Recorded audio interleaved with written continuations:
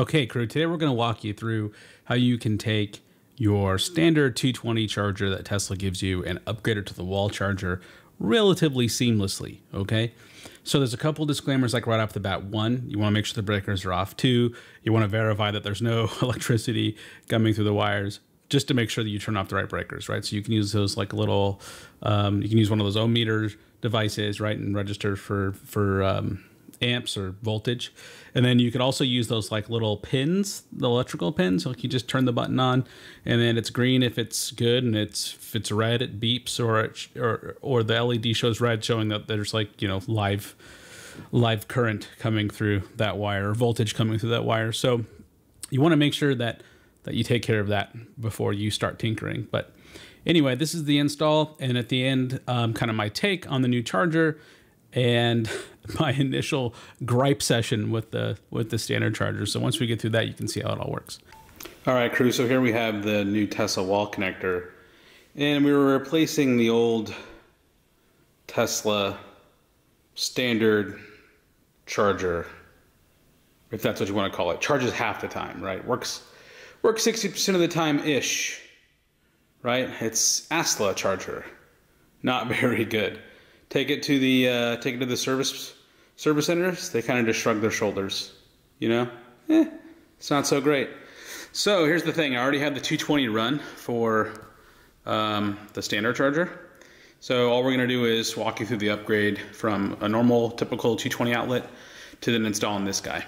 All right, let's take a look. Okay, so this junction box used to be there, and now we have the junction box that's integrated into Tesla wall charger. So we need to go from here to there, right? There are four wires uh, that were previously run. You'll have the two hots, the common, and then the ground, right? So two hots, the black ones, the common, the white one, and the ground, the green one.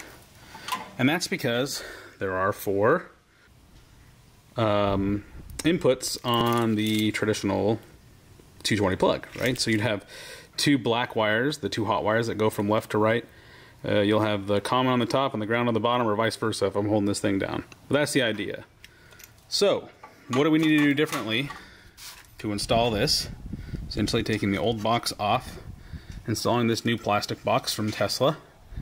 You'll probably need new hardware. I couldn't get through the wall with the standard hardware. If you're just screwing into wood, it'll be fine, but if you're screwing anything else, you'll need new hardware. And we're going to need both these hots and we're going to need the ground. And we're not going to need the common.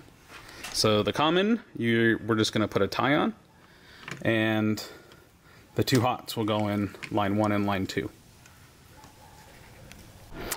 All right, now that we have the wires installed, you can kind of see the order. Again, you don't need the common one. Probably going to end up electrical taping that wire there. And then the rest of it's pretty easy. So everything just slides back on and then you have four screws at the top or two screws at the top, two screws at the bottom. They kind of lock the whole unit to the wall.